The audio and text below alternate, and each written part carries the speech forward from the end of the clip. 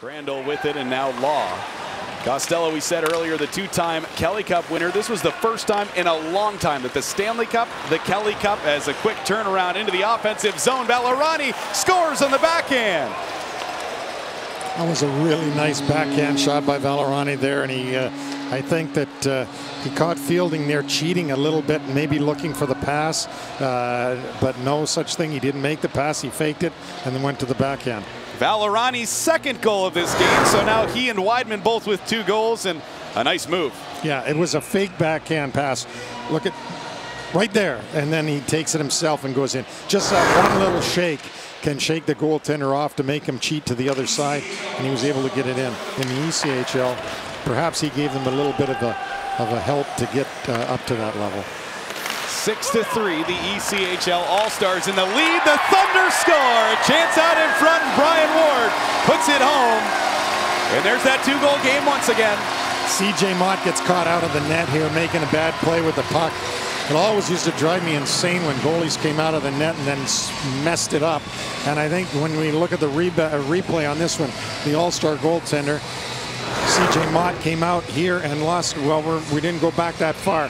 But the reason that Adirondack had this big of a chance uh, was because Motte came out to play it, lost it. The Thunder jumped on it and put it out in front. This defensive play by Falkovsky as the puck is moved around and Henry walks in over the line. He drops it back for Bradshaw and he has the puck fall off his stick. It's found down low though and Albert can't get it to go. On the backhand, he moves it to Bradshaw. Costello finds control of this one, oh. loses it down low. Thunder alone, back, wow. they score! James Henry puts it home and makes it a one-goal game with 18:24 to go in the third. The Thunder are making it interesting here. They sure are, but the All-Stars were on their horse and out of the zone too early. Law trying to move it away for the Thunder. But still in tight here, the All-Stars Wideman trying to push it out in front. Nice pass, quick shot. They score! Perfectly placed shot by Matt Garbowsky has the All-Stars up by two again. And another point for Wideman in this All-Star game. He may be the guy that gets the MVP of this game. 13:48 to go in the third. It's 7 to 5 All-Stars on the NHL Network. Well, as the Thunder bring it up, we'll go back down to Matt on the bench this time with first period goaltender Jamie Phillips. Matt. Well, you guys were talking a lot about the goaltending of Jamie Phillips. I see uh, you left C.J. Motte here to handle the four on four, three on three, huh, Jamie? Pollock could drive and he scored. Right as you said that too. Uh, I didn't have a choice on what what, I, uh, what period I played. I'm not gonna lie, I'm not too upset that I didn't get the the four on four, three on three.